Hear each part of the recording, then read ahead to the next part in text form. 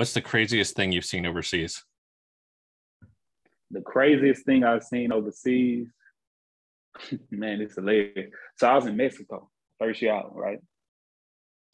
So, you know, you hear a lot of stories about like the cartels in Mexico and and how like police walk around with shotguns and rifles and AK-40, you know what I mean? Like you hear all these stories. So it's one late night. We riding the bus. I, I think we was headed back to Mexico City or we was going to a away game.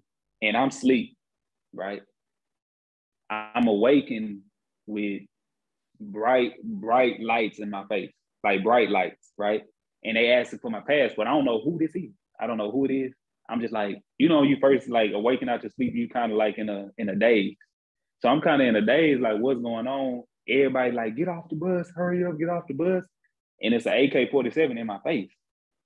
And I'm just like, okay, this is what I wasn't dreaming about, but okay. so um just that was probably the wildest thing I've seen or been a part of when I was overseas is just being awakened to an AK 47 and having to get off the bus. They searching the bus, trying to take things. And um, who are these people? Just, I really don't know. You don't know? I really don't know. Wow. Lord.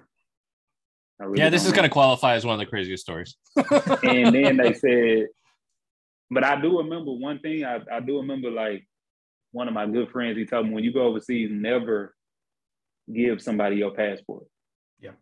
And I remember they was asking for my passport, and I was like, I don't have it. So, I mean, yeah.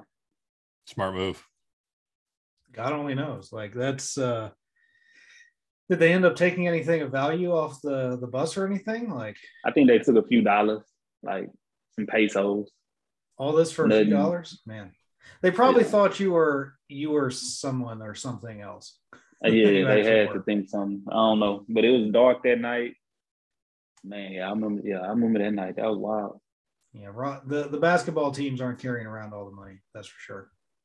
No, not at all. Not in this. And so did they just slink back into the night? Like they're just going to disappear? Like what? What was the end of this conversation? They, I mean, they let us get back on the bus, and that was it. Sent you on your way after waking you up to a mm-hmm. gun in your face. Man. Yeah. Actually, Crazy, I have a question. Did your teammates okay. think anything of it, or was it they were they just kind of like, yeah, that happens? They yeah, they were just like, yeah, that just happened. Oh, great. Oh, okay. Me and the other Americans was kind of like, okay, like that stuff you see when you come up in like the inner city. You know what I mean? Like somebody getting robbed at gunpoint type stuff. But they was just like, oh, don't don't be startled. Don't give them anything. If you have something, don't give it to them. And yeah. It's just Tuesday. This happens. Right. I have to ask you now too. When this happened to you, which which stint in Mexico was this? This is my first year out. This so, is probably um, like a month into me going to Mexico. Man, and so you, you went back after that? Yeah, yeah.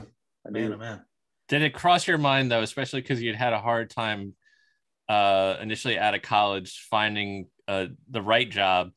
That when this happened, where you think to yourself, maybe I should still quit? Nah, that never crossed my mind. okay.